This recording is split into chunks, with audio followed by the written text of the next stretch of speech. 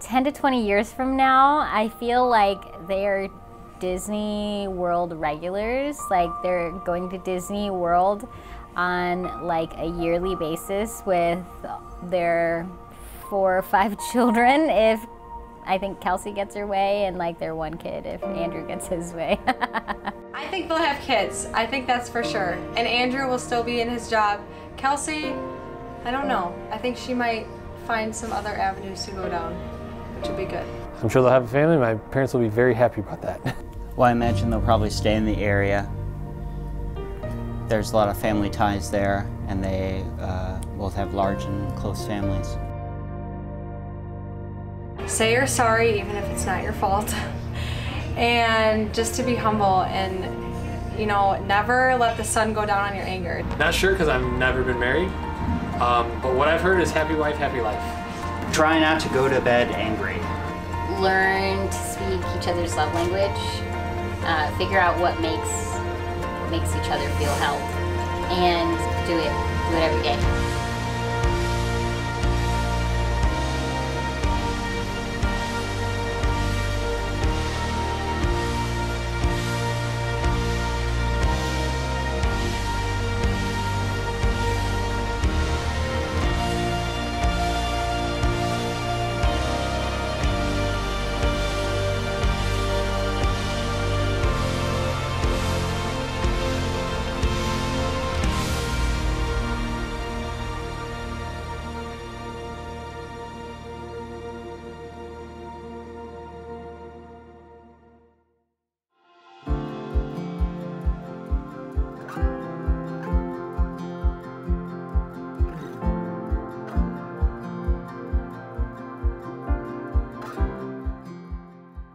Was little, I would watch Disney princess movies, and I believed in the fairy tales falling in love at first sight, marrying a prince, living happily ever after in a castle.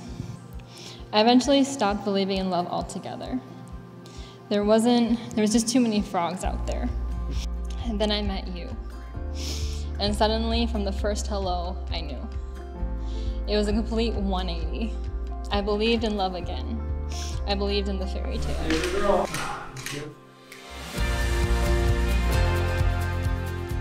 So I want to welcome you here for this gathering and celebration on behalf of Kelsey and Andrew.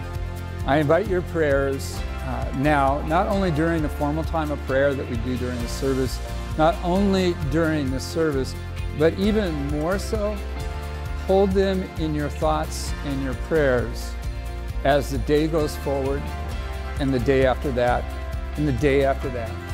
Kelsey, I never knew the moment I would fall in love was watching you draw a bicycle.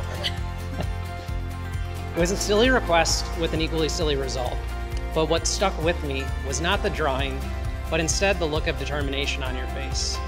It reminds me of the determination in which you do all things, whether golfing, finding a job, being a dog mom, or being my partner. You always commit to the things that are important. My vow to you is to give back that same commitment, to return to you the love that you've given me and the love that is in my heart. I, Andrew, take you, Kelsey. I, Andrew, take you, Kelsey. To be my wife. To be my wife. I, Kelsey, take you, Andrew. I, Kelsey, take you, Andrew. To be my husband. To be my husband. And these things I promise you. And these things I promise you. I will be faithful to you. I will be faithful to you. And honest with you. And honest with you. I will respect and trust. I will respect and trust. Help and care for you. Help and care for you. I will forgive you. I will forgive you. As we have been forgiven. As we have been forgiven. And I will share my life with you. And I will share my life with you. Through the best and worst. Through the best and worst. Of all that is to come. Of all that is to come. Until death. Until death parts us. Kelsey and Andrew, by their promises before God and in the presence of this assembly, have bound themselves to one another as husband and wife. May their bond not be broken by anything in this world or beyond. I invite you now to seal this day with a kiss.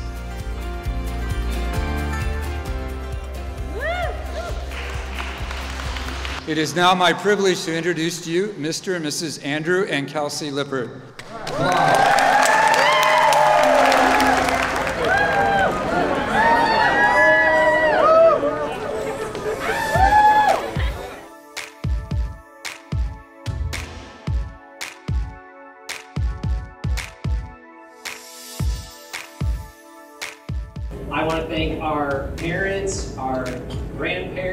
our families, our uh, brides people, bridal party. We, we appreciate so much that you've all been out here to help celebrate with us.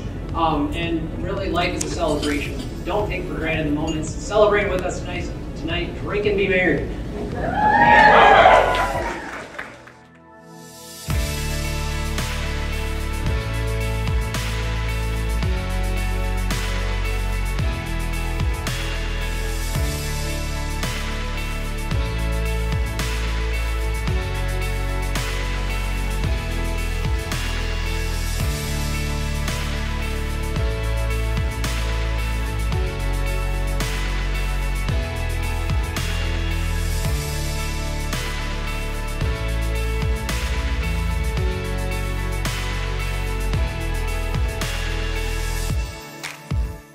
Most of you know how Andrew and Kelsey met and the struggles they had in finding each other.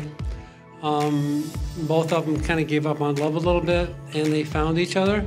And I've never been to a wedding where the couples met on a first date. To me, this is one example of how God has placed his hands on their shoulders and brought them together when both of them were kind of hopeless in finding someone. I've never seen a happier couple up on a, uh, a wedding chapel altar than today. I just want to start off by saying what a beautiful day that we've had. Um, I have never, I've been to a lot of weddings as well and been in a lot of weddings. And especially this year, my age group tends to get married at this time. So I'm just with a lot of wedding people and wedding parties. And looking at Kelsey and Andrew's faces today, was just such a gift. I don't know how else to say it. Um, she was just bouncing up there like so giddy. And I could see it in Andrew's eyes too. They're just so excited. And that's truly how their relationship has been this entire time. I remember the first time I met Andrew. Um, me and my fiance, we said, hey, let's do a double date with her. She just met a new guy. Uh, we went out to dinner and uh, had to, went to dinner, went out to a bar to have some drinks and listen to some music, and it was like, a, I think it was like in a February month or something. It was cold out. And we're sitting at the bar, and I noticed that he's wearing gloves inside the bar. and like, okay, I get we're sitting kind of by the door, but didn't really quite understand it. But okay, if you're cold, you're cold, whatever. So I wasn't really sure where all this was gonna go. Never seen it before. Everyone's a little quirky. No big deal. Time went on. We got to know him a little bit better. He started to open up a little bit. And turns out he's a really cool guy. Andrew's very pragmatic, right? And, and we'll take uh, an assessment of the current situation and then look forward to the future to see what those options are. And um, you know, one time when we were talking and he was talking to me about, you know, his hopes and, and ambitions for what this relationship could be. You know, he's like, uh, you know, with, with Kelsey, I feel that, that I, can, uh, I can unlock these doors and experience uh, the, a, a, more full life that I, that I thought wouldn't be an option. I got a phone call that was like, hey, uh, what are you doing? You want to be the best man at my wedding? I was like, sure. Anything for you, bruh. And then he's like, cool, I'm going to need you to go over to David's Bridal and meet with my future bride and uh, her whole entire all the women in her family uh, alone for hours to try on dresses. And I'm like, anything for you, bruh. when I met with Kelsey's family, I found out that my anxiety was completely unfounded. What a warm and welcoming group of people, as such that I've never met. And so, you know, I want to thank you both, the beautiful couple, for inviting all of us to celebrate with you in the union of these two uh, loving and caring family union units into one. Uh, to Kelsey and Andrew, everybody.